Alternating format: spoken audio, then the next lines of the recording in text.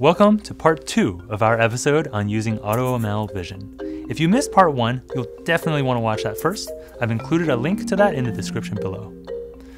Okay, so in part one, we talked about what AutoML Vision is used for and what the data it's expecting should look like. We also gathered and prepared our training data. Now, let's see how to use our data to train our model. That's just as simple as clicking Train. I'd recommend starting with the simple model first of the two choices and seeing how it performs. After training is started, go for a walk, grab a coffee. It'll take a little bit of time. And we're back.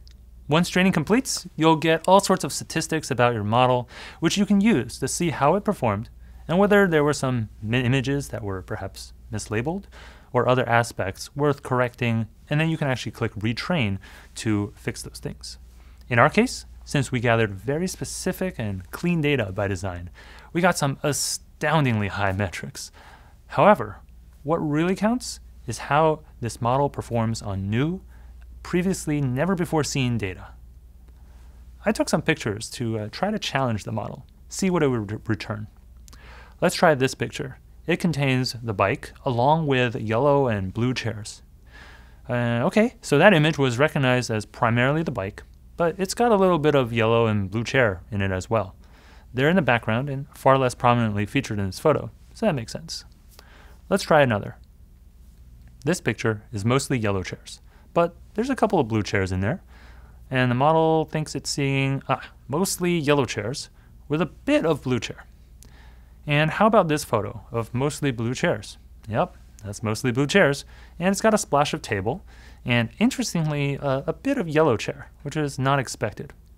So not everything is going to be perfect with a machine learning model, but so far this uh, model's top option has proven to be quite good. Now, finally, let's take a look at this picture. Very similar to the previous one, but the front chair is now a yellow chair. What will the model think of that? Wow, look at that. The yellow chair in the foreground really won out big time. It got a way higher score. All right, enough playing around with those pictures for now. Note that this model is already available at this stage to be called via its REST API. All we did was train it, but it actually deployed it for us as well. The service leverages Cloud ML Engine's online prediction capabilities to provide an auto-scaling prediction service that serves a customized model trained on our dataset. The neat part about all of this is that once you have your data pipeline worked out, from raw data to well-formed CSVs, the process of training and deploying machine learning models is completely hands-free in that you don't have to write any code, just click and wait. This allows you to focus on getting your data in a good state and hands off the challenges of constructing a suitable computer vision machine learning model to the service. Thanks for watching this episode of Cloud AI Adventures. And if you enjoyed it, hit that like button down below and be sure to subscribe to get all the latest updates right when they come out. Now, I'm gonna go and find me some more colorful chairs to take videos of so I can expand my dataset for my AutoML model.